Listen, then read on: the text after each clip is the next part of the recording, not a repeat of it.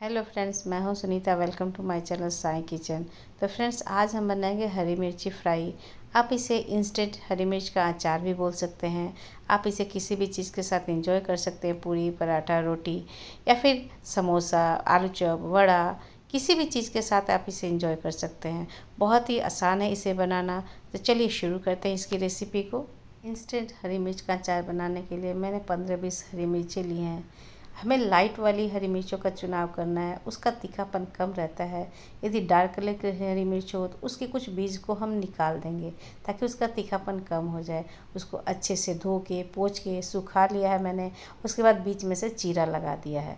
देखिए, इस तरीके से इंस्टेंट हरी मिर्च का अचार बनाने के लिए मैंने एक पैन में दो टेबलस्पून डाला है कुकिंग ऑयल और इसके अंदर हम डालेंगे मिर्चों को।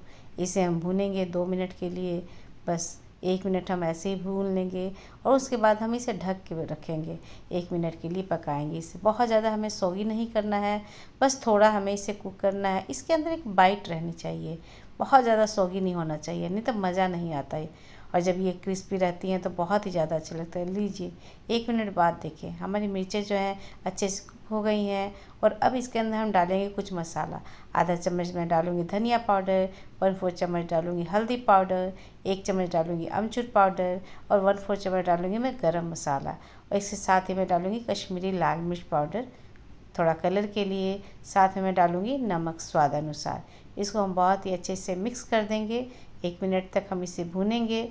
देखिए, मसाले जो है हमारे अच्छे से कोट हो जाए मिर्चों के ऊपर तो बहुत ही बढ़िया ये चटपटी हमारी हरी मिर्च का अचार जो है बन के तैयार हो जाता है। आप इसे सफ़र में ले जाएँ, घर में पूरी पराठे, पकौड़ी, आलू चौप, पकौड़ियों के साथ, किसी समोसे के साथ आप कैसे भी खाएँ, बहुत ही ज़्यादा स्वादिष्ट लगता है। सफ़र में आप इसे ले जा सकते हैं, आप इसे वो घर में वन वीक तक रख के खा सकते हैं, ये बिल्कुल भी ख़राब नहीं होता है। तो अब हम गैस का फ्लेम बंद करेंगे और इसके अंदर डालेंगे एक टेबलस्पून लेमन जूस। इससे इसका टेस्ट जो है और भी ज़्यादा बढ़िया हो जाता है। इसको हम बहुत ही अच्छे से मिक्स करेंगे। तो लीजिए, हमारा हरी मिर्च का इंस्टेंट अचार या मिर्ची फ्राई जो है वो रेडी हो गया। अब हम इसे सर्व करें।